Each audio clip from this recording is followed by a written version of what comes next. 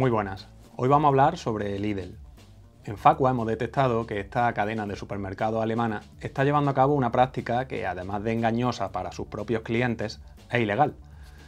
Como ya sabéis, Lidl es una de las ocho grandes cadenas de distribución en las que mensualmente venimos realizando un seguimiento de precios para analizar su evolución en el mercado. En nuestra última visita a este establecimiento nos hemos llevado una sorpresa bastante desagradable. ¿Qué, qué ha pasado? Pues que hemos comprobado que 10 de los 61 precios analizados este mes de junio tenían un letrerito en rojo con un precio en oferta. Vaya, el típico cartel con un precio más alto tachado y uno más bajo en grande destacando su actual descuento. De primera, cualquier persona que vea algún producto con este tipo de oferta entiende que se le ha aplicado un descuento temporal y que por eso es más barato. Obviamente se trata de una fórmula para captar la atención del consumidor e incentivar el consumo de este producto. El problema es que en Facua somos muy incrédulos y nunca nos hemos fiado de estas supuestas ofertas de los supermercados. Y a partir de ahora, con más razón si cabe, tras comprobar que esta decena de artículos rebajados en Lidl, ya supuestamente con este descuento, tienen el mismísimo precio que tenían el mes de mayo. Vamos, que valen exactamente lo mismo que el mes pasado. La única diferencia es que en mayo tenían un letrerito normal con un único precio y ahora pues aparece un letrerito en rojo, en oferta, con dos precios, pero la cuantía es idéntica.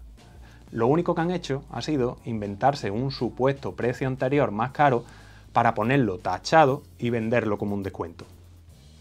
Entre estos 10 productos de Lidl en los que hemos detectado esta práctica tenemos pastas, huevos, leche y quesos.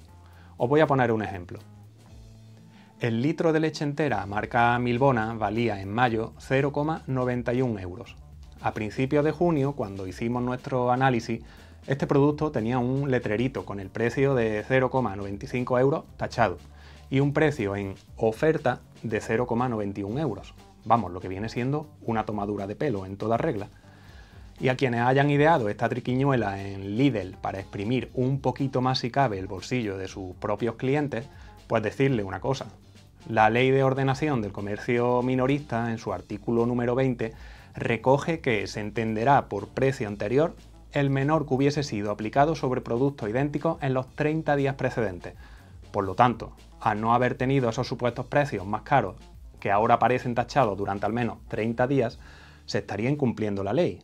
En Facua ya hemos presentado una denuncia ante el Ministerio de Consumo informando de esta grave irregularidad por parte de la distribuidora alemana, Ahora solo falta que este organismo lo investigue y que sancione a Lidl si considera que se ha vulnerado la ley por esta publicidad engañosa que a todas luces va en perjuicio del consumidor.